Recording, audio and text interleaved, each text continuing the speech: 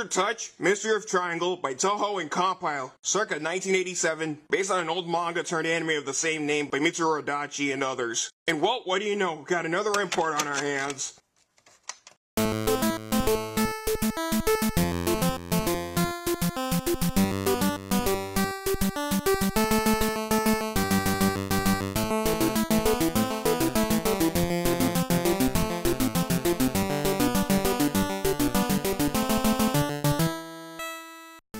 Considering no one's even heard of, let alone read or seen any media related to Mitsuru Adachi's Touch, since it's popular in Japan, but uh, I don't know, nowhere else. And forgive any international otaku bashing in advance. See why all these other franchises that are worth a damn? Hence these visuals shown here, which I'm in no position to name drop whatsoever, except through these grotesquely familiar stills.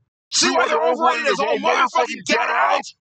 Anyhow, all minimal venting aside, the Uesugi twins, Tatsuya and Kazuya, okay, not going there. Both athletes, naturally gifted and hardworking individually, are plunged into an alternate dimension while chasing after their pet Samoyed dog Punch, along with their more athletic and strong-willed next-door neighbor slash crush, Minami Asakura.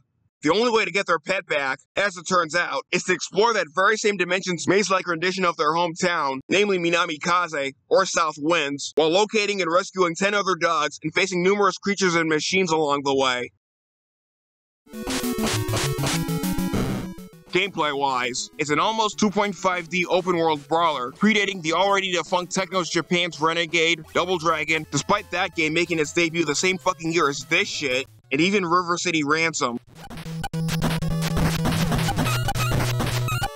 Where you're guiding the main trio, both the aforementioned Tatsuya and Kazuya, with Minami in the center, whom you have to protect at any cost, all throughout this so-called alternate dimension of Minami Kaze, confronting and clobbering the piss out of every miscellaneous adversary, including living toys, machines, balloons, bats, skeletons, ghosts, living mushrooms, animals including rats, rabbits, bears, and the like, and discovering hidden paths whenever and wherever feasible, in order to bring back the 10 lost dogs, including Punch of course, both Tatsuya and Kazuya have their individual health meters in the form of three-digit numbers, which also serve as their currency. Metroid anyone? Gained by throwing down the old fisticuffs or summoning random-ass projectiles on said adversaries that appear in random locations within their inverted, alternate empty shell of a town, while Minami does dick all except appear as an accessory to the twins' ongoing pursuits, Whenever the twins endure any amounts of damage, and forgive any wanton misogyny on my part, all she can do is wince, whine and dine, and bitch non-stop. As most girls do, even in real life I might add. But more on all this shit later.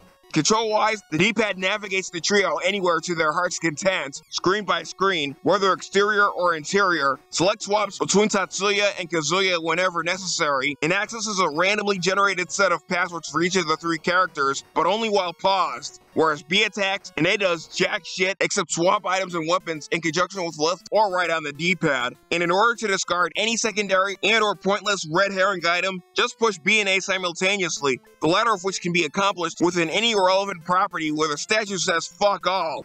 These items, by the way, can be bought at any DIY vendor store, including sustenance that also replenishes their health, but at the same time refund their moolah.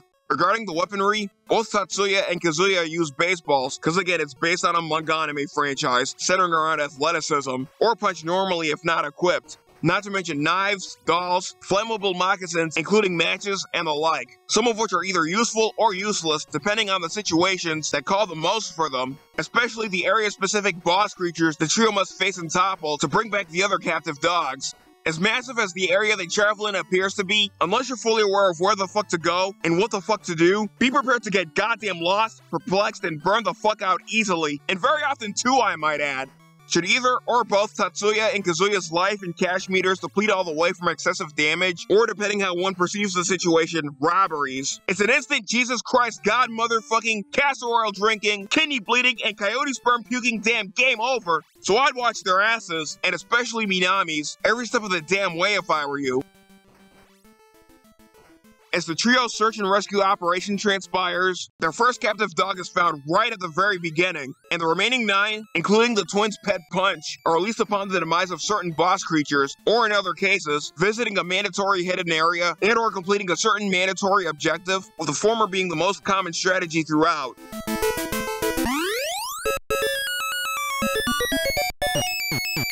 First boss you'll come across is in a hidden, bleak-looking, miniaturized ghost town, inhabited by your usual horror fair oppressors, specifically those aforementioned bats and skeletons, with some fucking ghosts mixed in even. Quick, call Pete Ray, Egon Winston, and Lewis for all I care. Within the locked drugstore that you have to access via a magic key, specifically a living Gwen clown doll that summons its own offspring, against whom you need a discount Jenny doll to counter it. The next being a gigantic duck-like cloud of smoke, against which you'll need any flammable item, preferably a goddamn torch, located within a forest on the outskirts of the alternate Minami Kaze, inhabited by rabbits, mushrooms, bubbles, moving stones, and the like. A massive spitting mutant rock, for whom you need the hammer to annihilate,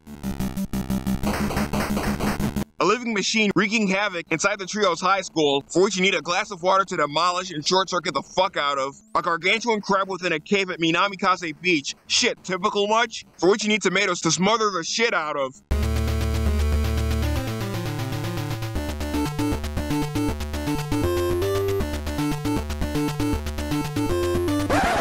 Yeah, as if we're going there this week.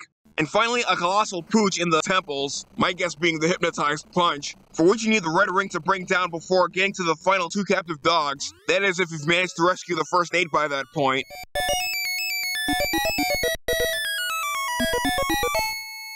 Regarding the latter, in terms of finding the other remaining captive dogs via hidden areas or other miscellaneous, albeit mandatory means, I'll leave those up to everyone, since I'm contemplating on eschewing all spoilers for good, even at this juncture I might add. Usually, I don't rave much over how effortless any in-game boss confrontation is, at least for the sake of making every playthrough a walk in the park. But holy piss drinking Pope shit, what an irreversible ass exception I'm making here. It's no wonder Mitsuru Adachi, the original creator of Touch that is, was extremely pissed off over the way this game turned out to be, considering it had jack shit to do with his original work. I mean, what the fuck? Either way, at least the controls are self-aware enough and react decently to every basic action, despite one of the two twins unintentionally aiming in the wrong direction when controlling the other, causing Minami to throw one random fit after another, in which case, swap between the two whenever necessary, and the gameplay cycle is nothing short of adequate and unambiguous, albeit somehow humdrum and superfluous, rhyme not intended, though not as much as, say, the already defunct LucasArts infamous Defenders of Dynatron City, Christ forbid.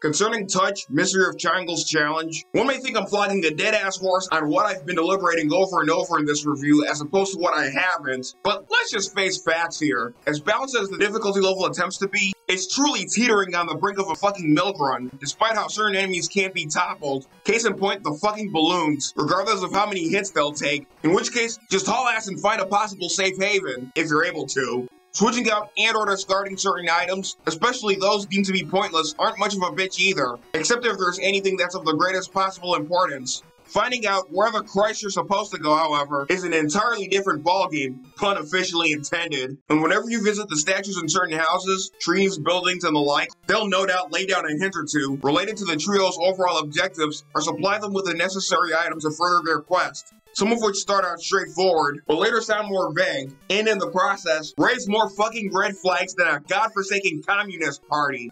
In full personal admittance, the first time I've tried this out nearly two decades ago, pre-YouTube that is, I barely had any goddamn idea whatsoever on the main destinations and or objective until discovering GameFAQs and various walkthrough videos years later prior to starting this project. For starters, you'll definitely need that magic key in order to warp into certain subspace areas outside Minami Kaze, and even deliver and or receive letters at the post offices whenever necessary. Not only that, when facing those earlier cited boss creatures, undivided scrutiny and attrition are key, especially when they strike back.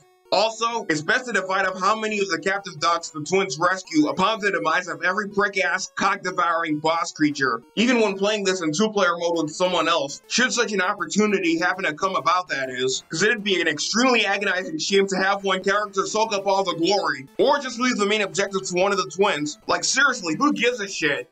Besides all of those, please refer to and take strenuous advantage of what I discussed about those randomly generated passwords accessed only when paused via select. Not to mention every hint I've dropped thus far, if in full honesty not a lot. And there's even a continue option in case the trio happens to exhaust themselves, but only after they die and not after you reset.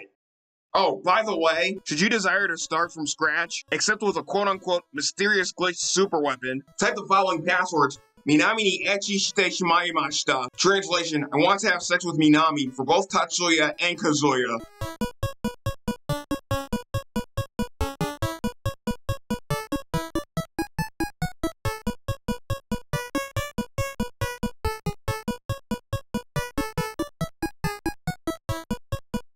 And finally, Tatsuya to echi shite shimaimashita, or Kazuya to echi shite shimaimashita. Translations, I want to have sex with either Tatsuya or Kazuya, respectively, for Minami.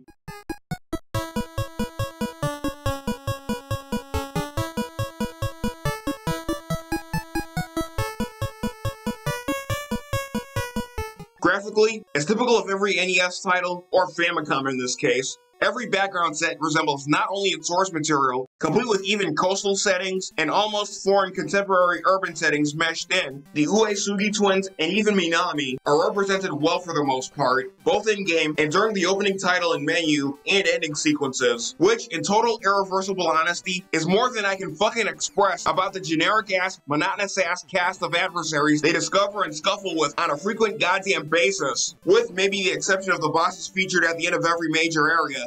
Getting back to the main trio themselves, one can't deny that Minami by herself has her plethora of moments, even when Tatsuya and Kazuya find themselves in the deepest shit imaginable, or when they explore new areas, hence her provided dialogue at the top center panel between the twins' UI and status details, which as I'm sure many have noticed by now, I've managed to translate on screen myself. The twins are far from shabby and unremarkable as their constant efforts in keeping their oppressive hostile parties at bay, while also keeping their better half out of harm's way are evident, and then some. Music and sound-wise, while there's no credits shown whatsoever, nor any composer, though, according to my recent research, as mistaken as I could be, a pre-Godzilla Masatomo Miyamoto might have had something to do with it. And fuck no, he's not related to Shigeru, at all. But the sound driver responsible, Takayuki Hirono, at the already defunct Compile, was much more involved. But then again, who gives a fuck? you're better off looking the other way regarding the choice of songs, as it turns out to be a rather sparse selection no matter what situation the trio's hurled into. However, I may just be talking out of my own ass, as the range of songs become surprisingly more diverse and ear-opening beyond imagination. But yet again, let's face facts. They're more redundant than every motherfucking parental and or spousal lecture in history. And don't even get me started, for the sake of piss, about the less than serviceable sound effects either. Granted, they're also typical of every early Famicom, aka NES title, and are somewhat necessary for every in-game confrontation, but just, what the fuck is this? I don't even... Anyways, snapping back to reality. To be fair, here are my top six tracks. Main theme B, heard upon entering opposite buildings and or alternate exterior areas of towns, considering theme A does clash with it. The bleak town theme when entering through the locked drugstore with a magic key, the woods, the warehouse and beach, the shrine path, and finally the password.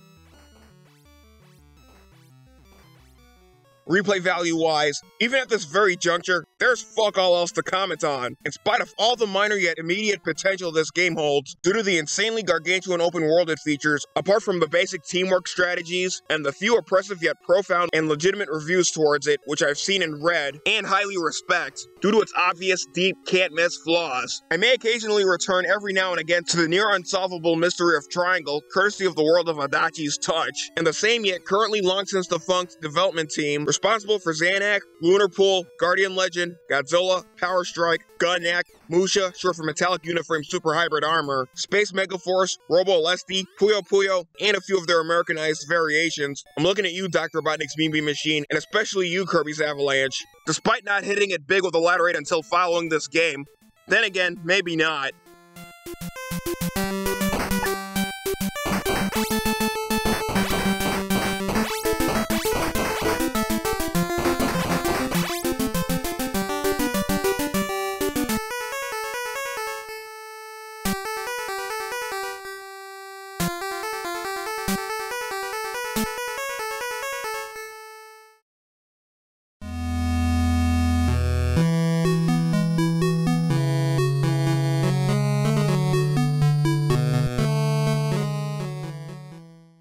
Henceforth, my final verdict in a nutshell there are absolutely no words to express my ultimate overall judgment on yet another often berated import title, other than how torn and divided I am internally. On one side of me, I should at least continue experiencing what it has to offer, but on the other, maybe I shouldn't have laid a hand on it in the first place. Not even with a goddamn 25 foot branch. Like Jesus titty fucking Christ.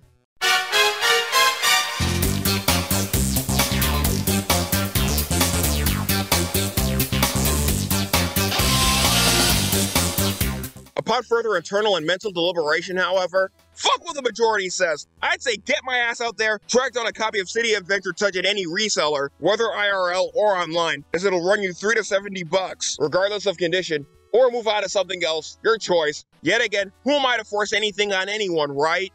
Until then, as per usual, this is the one and only Hardcore Retro God awkwardly signing off.